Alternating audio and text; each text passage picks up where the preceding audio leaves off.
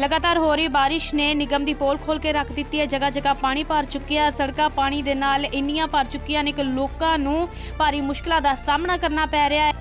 ਇਸ ਦੇ ਬਾਵਜੂਦ ਵੀ ਨਿਗਮ ਪ੍ਰਸ਼ਾਸਨ ਕੁੰਭਕਰਨ ਦੀ ਨੀਂਦ ਸੁੱਤੀ ਹੋਈ ਹੈ ਤੇ ਲੋਕਾਂ ਦੀਆਂ ਮੁਸ਼ਕਲਾਂ ਦੂਰ ਕਰਨ ਦਾ ਨਾਮ ਨਹੀਂ ਲੈ ਰਹੀ। ਜਿਸ ਦੇ ਨਾਲ ਆਮ ਲੋਕਾਂ ਨੂੰ ਭਾਰੀ ਮੁਸ਼ਕਲਾਂ ਦਾ ਸਾਹਮਣਾ ਕਰਨਾ ਪੈ ਰਿਹਾ ਹੈ ਤੇ ਲੋਕਾਂ ਦਾ ਕਹਿਣਾ ਹੈ ਕਿ ਆਉਣ ਜਾਣ ਵਿੱਚ ਕਾਫੀ ਦਿੱਕਤਾਂ ਆ ਰਹੀਆਂ ਨੇ ਤੇ ਜਲਦੀ ਹੀ ਇਹ ਪਾਣੀ ਦੀ ਸਮੱਸਿਆ ਨੂੰ ਹੱਲ ਕੀਤਾ ਜਾਣਾ ਚਾਹੀਦਾ ਹੈ। ਇਸ ਦੇ ਨਾਲ ਹੀ ਦੱਸਦੇ ਕਿ ਜਦੋਂ ਨਿਗਮ ਕਮਿਸ਼ਨਰ ਅਭਿਸ਼ੇਕ ਕਪਲੇਸ਼ ਦੇ ਨਾਲ ਇਸ ਬਾਰੇ ਗੱਲਬਾਤ ਕੀਤੀ ਗਈ ਤਾਂ ਉਹਨਾਂ ਨੇ ਕਿਹਾ ਕਿ ਸੜਕ ਦੇ ਨਿਰਮਾਣ ਦੇ ਵਾਸਤੇ 52 ਕਰੋੜ ਰੁਪਇਆ ਆ ਗਿਆ। ਜਲਦੀ ਸ਼ਹਿਰ ਦੀਆਂ ਸਾਰੀਆਂ ਸੜਕਾਂ ਠੀਕ ਹੋ ਜਾਣਗੀਆਂ। ਟੁੱਟ ਟੁੱਟੀਆਂ ਸੜਕਾਂ ਨੂੰ ਵੀ ਠੀਕ ਕੀਤਾ ਜਾਵੇਗਾ ਤੇ ਲੋਕਾਂ ਨੂੰ ਆਉਣ ਜਾਣ ਵਾਲੀਆਂ ਮੁਸ਼ਕਲਾਂ ਦਾ ਸਾਹਮਣਾ ਨਹੀਂ ਕਰਨਾ ਪਵੇਗਾ। ਜਲਦ ਹੀ ਇਹਨਾਂ ਸਾਰੀਆਂ ਮੁਸ਼ਕਲਾਂ ਦਾ ਹੱਲ ਕੱਢ ਦਿੱਤਾ ਜਾਵੇਗਾ। ਨਹੀਂ ਜੀ, ਪੰਜਾਬ ਸਰਕਾਰ ਦੇ ਆਦੇਸ਼ਾਂ ਦੇ ਹਿਸਾਬ ਨਾਲ ਸਾਨੂੰ ਰੀਸੈਂਟਲੀ 52 ਕਰੋੜ ਰੁਪਇਆ ਰਿਸੀਵ ਹੋਇਆ ਹੈ ਫॉर ਕੀ ਕਹਿੰਦੇ ਨੇ, ਸੜਕਾਂ ਵਾਸਤੇ। ਔਰ ਉਹਨਾਂ ਦੇ ਜਿਹੜੇ ਟੈਂਡਰ ਨੇ, ਉਹ ਬਹੁਤ ਸਾਰੇ ਟੈਂਡਰ ਅਸੀਂ ਲਗਾਤੇ ਨੇ ਕੁਝ ਟੈਂਡਰ ਅਸੀਂ ਜਿਹੜੇ ਨੇ, ਉਹ ਲਗਾਉਣ ਜਾ ਰਹੇ ਹਾਂ। ਇਨਫੈਕਟ ਵਰਕ ਆਰਡਰਸ ਵੀ ਅਸੀਂ ਦੇਣ ਲਾਇਕ ਹੋ ਗਏ ਹਾਂ। ਸੋ ਸੜਕਾਂ ਜਿਹੜੀਆਂ ਨੇ, ਖਾਸ ਤੌਰ ਤੇ ਮੁਹੱਲਿਆਂ ਵਗੈਰਾ ਦੀਆਂ, ਉਹਨਾਂ ਦੇ ਵਿੱਚ ਕਾਫੀ ਮੇਜਰ ਇੰਪਰੂਵਮੈਂਟ ਹੋਏਗੀ।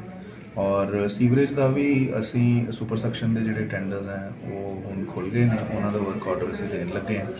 ਅਸੀਂ ਆਪਣੇ ਸਟਾਫ ਨੂੰ ਸਮਾਨ ਵੀ ਪ੍ਰੋਵਾਈਡ ਕਰਾਉਣਾ ਸ਼ੁਰੂ ਕਰਤਾ ਹੈ। ਜਿਹੜੀਆਂ ਮਸ਼ੀਨਾਂ ਖਰਾਬ ਪਈਆਂ ਸੀਗੀਆਂ, ਉਹਨਾਂ ਨੂੰ ਠੀਕ ਕਰਾਉਣ ਦੀ ਹੁਣ ਕੋਸ਼ਿਸ਼ ਕਰ ਰਹੇ ਹਾਂ। ਤੇ ਸਾਡੇ ਵੱਲੋਂ ਇਹ ਵੀ ਆਰਡਰਸ ਕੀਤੇ ਗਏ ਨੇ ਕਿ ਜਿਹੜੀ ਵੀ ਨਵੀਆਂ ਮਸ਼ੀਨਾਂ ਲੈਣ ਦੀ ਲੋੜ ਹੈ, ਉਹਨਾਂ ਨੂੰ ਜਲਦ ਤੋਂ ਜਲਦ ਦਿੱਤਾ ਜਾਵੇ, ਤਾਂ ਕਿ ਇਹਦੇ ਮਸਲੇ ਹੱਲ ਹੋਣ। ਜਲੰਧਰ ਤੋਂ ਵਿਨੇ ਸ਼ਰਮਾ ਦੀ ਰਿਪੋਰਟ।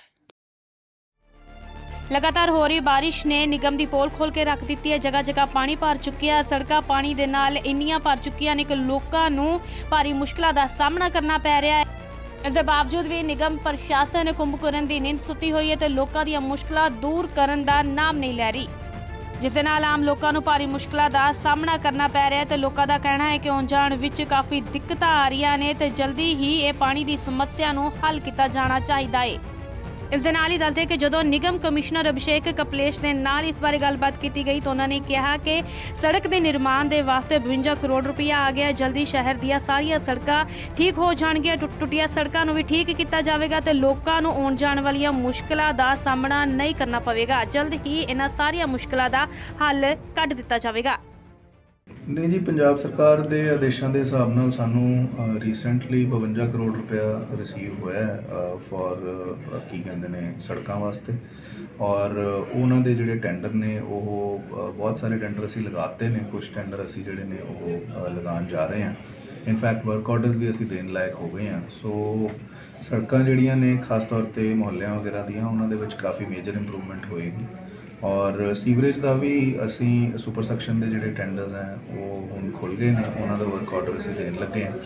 ਅਸੀਂ ਆਪਣੇ ਸਟਾਫ ਨੂੰ ਸਮਾਨ ਵੀ ਪ੍ਰੋਵਾਈਡ ਕਰਾਉਣਾ ਸ਼ੁਰੂ ਕਰਤਾ ਹੈ। ਜਿਹੜੀਆਂ ਮਸ਼ੀਨਾਂ ਖਰਾਬ ਪਈਆਂ ਸੀਗੀਆਂ, ਉਹਨਾਂ ਨੂੰ ਠੀਕ ਕਰਾਉਣ ਦੀ ਹੁਣ ਕੋਸ਼ਿਸ਼ ਕਰ ਰਹੇ ਹਾਂ। ਤੇ ਸਾਡੇ ਵੱਲੋਂ ਇਹ ਵੀ ਆਰਡਰਸ ਕੀਤੇ ਗਏ ਨੇ ਕਿ ਜਿਹੜੀ ਵੀ ਨਵੀਆਂ ਮਸ਼ੀਨਾਂ ਲੈਣ ਦੀ ਲੋੜ ਹੈ, ਉਹਨਾਂ ਨੂੰ ਜਲਦ ਤੋਂ ਜਲਦ ਦਿੱਤਾ ਜਾਵੇ, ਤਾਂ ਕਿ ਇਹਦੇ ਮਸਲੇ ਹੱਲ ਹੋਣ।